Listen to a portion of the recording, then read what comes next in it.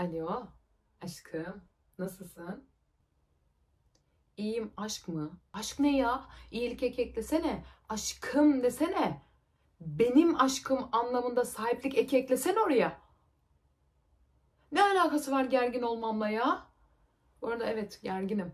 Bu arada gerginim dedim. ismi yüklem yaptım tamam mı? Bak aşkımdaki ım eki iyilik oldu.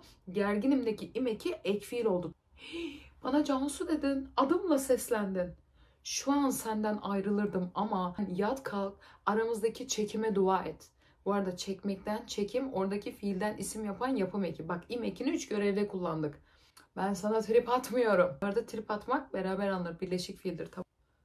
Niye mi? Bu arada niye kelimesinin ünlü daralması var. Yor almadan daralan istisnalardan biridir. Sana şu an Berge'nin seni kalbimden kovduğum şarkısını yolluyorum. Ne demek aşkım bugün 14 Şubat kavga etmeyelim. Kavganın günü saati mi var? Neyse bu arada 14 Şubat dediğinde net bir tarih verdiğin için Şubat'ın şeysi büyük olacak. İşte bugün sevgililer günü ya. Sevgililer gününün G'si, babalar gününün G'si, anneler günü gibi ifadeler. G büyük oluyor. Onun dışında küçük yazıyorsun.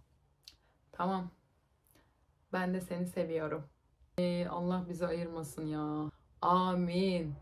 Amin. Amin.